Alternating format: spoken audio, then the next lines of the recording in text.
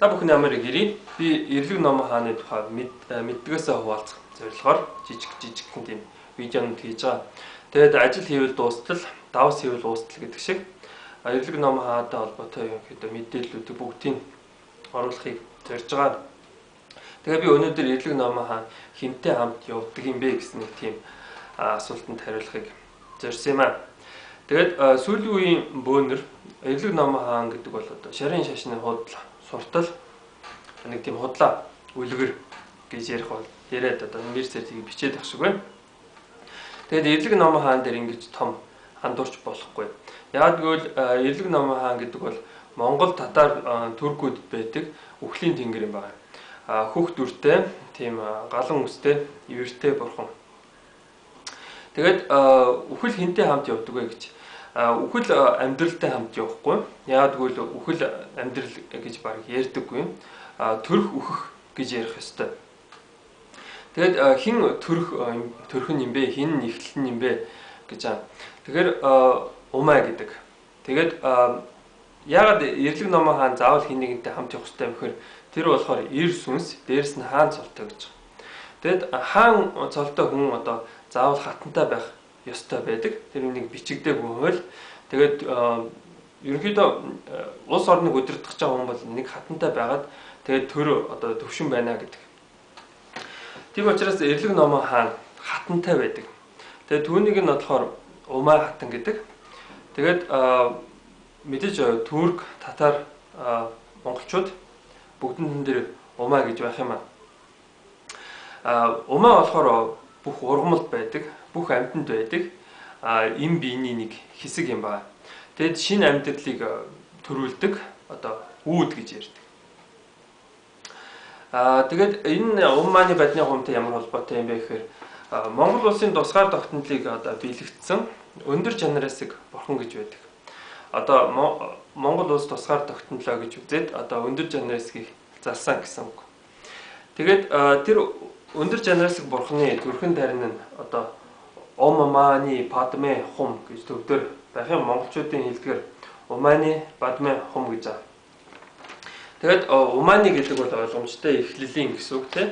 Тэгээд Бадме гэж байгаа. Бадме гэдэг нь болохоор Бадма гэсэн үг. Одоо Бадам лимфа цэцэг гэсэн үг. Тэгээд хум гэж байгаа. Хум гэдэг бол одоо төгсгөл гэсэн үг. А монголчууд мэдээж ертөнцийн төгсгөлд итгэдэг.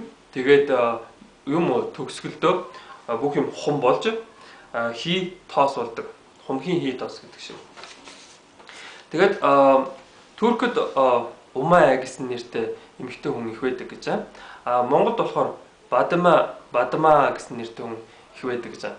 Энэ Бадма гэдэг нь болохоор мэдээж Бадам лухаа цэцэг. Тэгээ Монголд ургадаг нэг нь тийм цэцэг байх юм л да. Тэгээд тэрийг яагаад ч юм дэ шүтээд байдаг. А энэ Бадам лухаа цэцэг нь болохоор энтхэг хятад болохоор болон зүүн өмнөд Азад болохоор энэ хүний бэлэг хэрэгтнийг одоо илэрхийлдэг. Тийм тийм учраас одоо Уманы Бадмын хум гэдэг үг нь болохоор монгол хэлэн дээр юу гэж бууж байгаа нөхөр одоо эхлэлийн үүд хаагдэ гэсэн. Буюу одоо дахиж одоо хүн ам битгий төрөөсэй ч гэдэг юм. Тийм их бодохтой юм байна.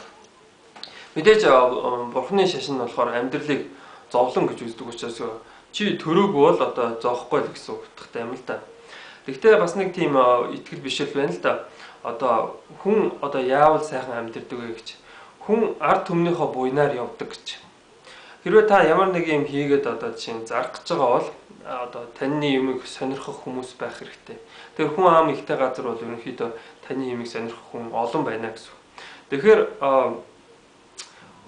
хүн одоо бусдынхаа буйнаар явдаг гэж. Тэгээд хүн ам их байх тусам буян их байдаг гэж. Тэгээ хятад энтэг хоёр хүн ам их учраас тэнд тэр улс их баян бас буянтай байх юм гэсэн.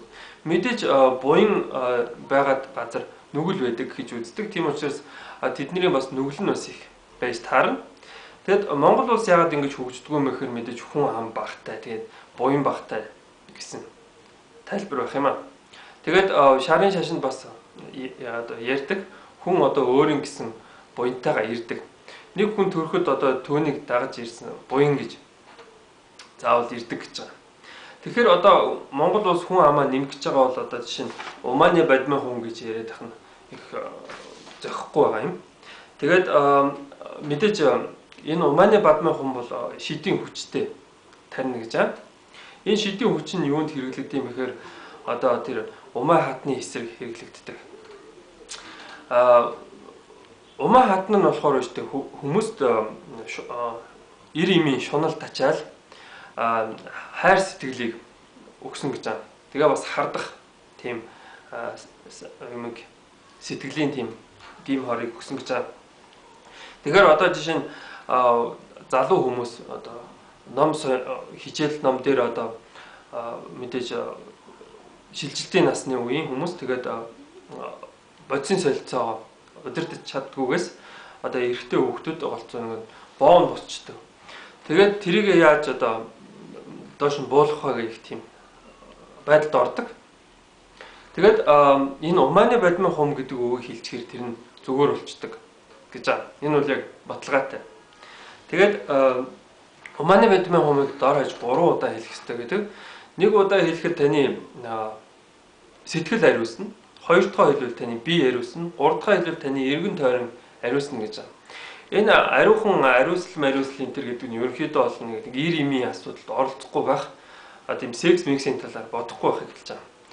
Аа яа ч юм дэ энэ одоо шарын шашинд эмэгтэй хүнийг туйлын бузар одоо эмэгтэй хүн бол ерөнхийдөө нэг мод чулуу шиг юм гэж үздэг.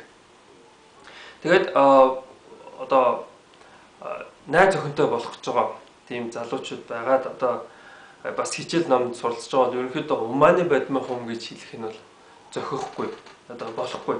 Яг тэгвэл умаа умаа хатан гэдэг нь болохоор ханийн тэнгэр юм бай.